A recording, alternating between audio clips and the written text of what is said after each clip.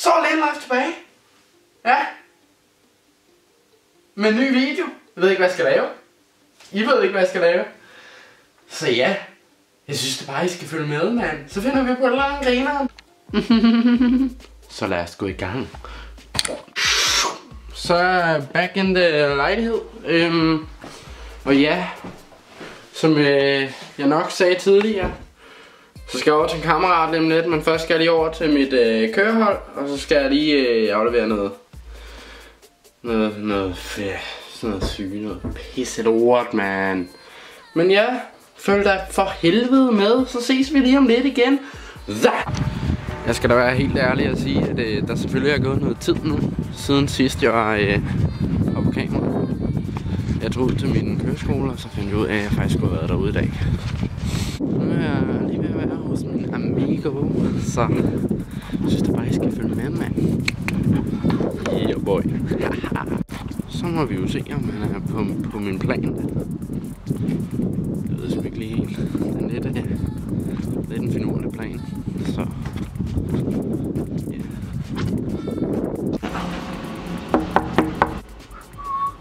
Hello there. Hej hej. Jeg vlogger. Kan du se det? Sig hej. Måske... Så er vi på vej ud mod en forladt bygning, er det ikke rigtigt?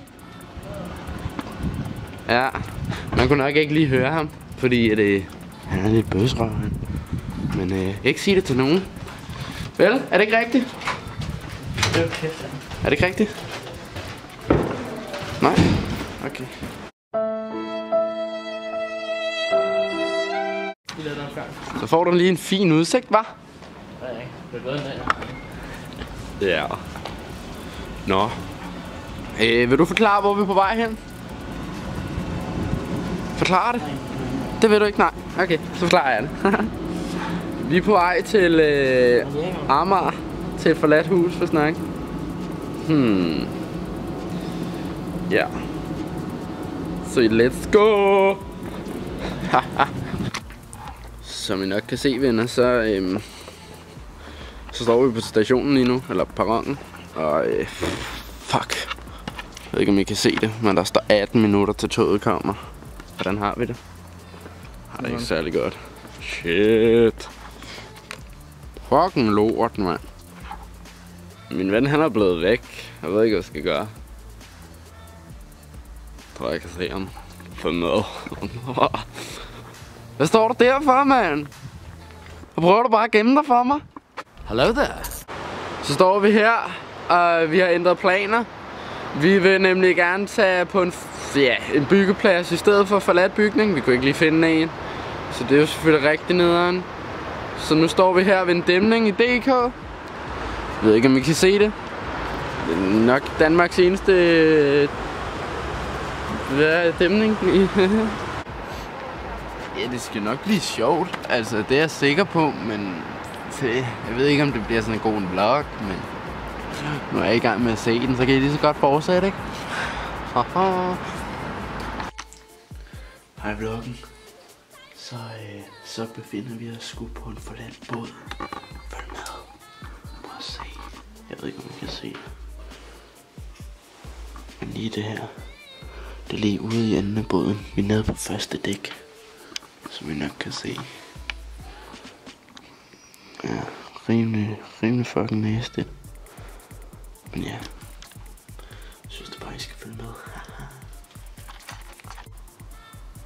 What the creepy, man. Haha.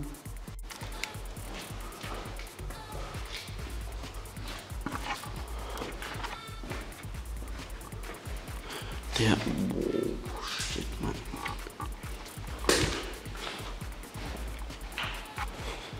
Nok kan se, så er det her båden. Lige ind til de her der klamme huller, mand. Yeah, boy. Hvad er der herinde? Nej, hvor fino.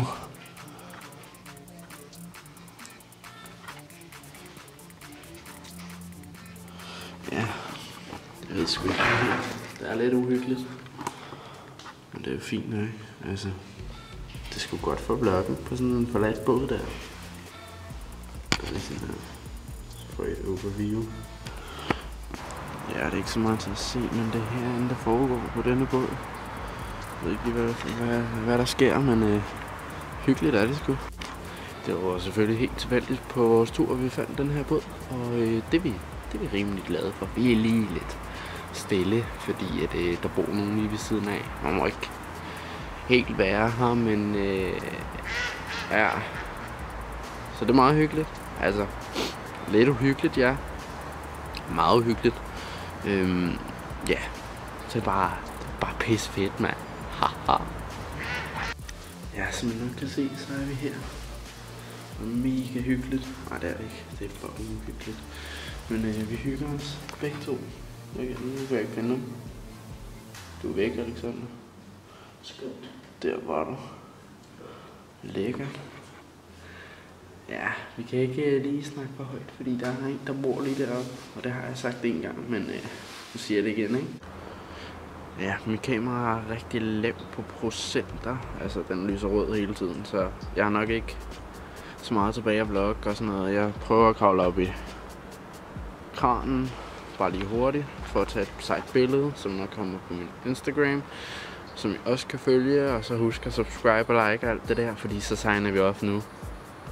Good toodaloo, er det ikke sådan, man siger? Hej hej.